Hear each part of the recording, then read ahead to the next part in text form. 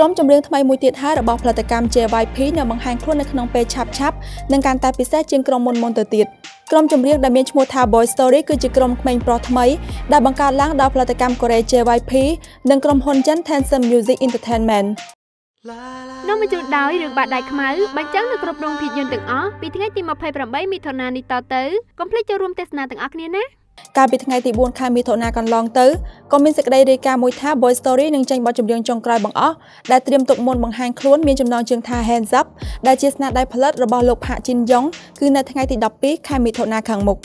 មួយវិញទៀតក្រុមចម្រៀងដែលមានសមាជិកទាំងអស់សុទ្ធតែមានអាយុក្រោម14ឆ្នាំនេះនឹងត្រៀមបង្ហាញខ្លួនជាផ្លូវការនៅខែកញ្ញាខាងមុខ អ្នកតំណាងម្នាក់មកពីផលិតកម្ម JYP នៅចិនក៏បានលើកឡើងដែរថា Boy Story បានទទួលការបណ្ដុះបណ្ដាលរយៈពេល2ឆ្នាំមកហើយហើយពួកគេពិតជាឆ្លាតឆ្លាតនិងតែបង្ហាញចេញនូវសមត្ថភាពព្រមទាំងស្ទីលរៀងៗខ្លួននិងភាពប៉ិនប្រសប់ផ្សេងៗគ្នាអំឡុងពេលត្រៀមបង្ហាញខ្លួនពួកយើងសង្ឃឹមថាពួកគេនឹងទទួលបានក្តីស្រឡាញ់និងមតិល្អៗពីសំណាក់អ្នកគាំទ្រ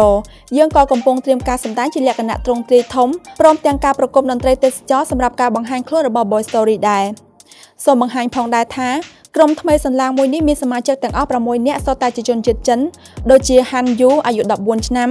Si Hao អាយុ13ឆ្នាំ Zhe Yu អាយុ13ឆ្នាំ Sin Long អាយុ13ឆ្នាំ Ming Ru អាយុ12ឆ្នាំ និង Shu Yang អាយុ11ឆ្នាំក្រៅពីច្រៀងកុមារាទាំង6នឹងបង្ហាញអ្នកគាំទ្រនៅក្បាច់រាំពុពេញទៅដោយធម៌ពលជូនគ្រប់គ្នាឃើញ។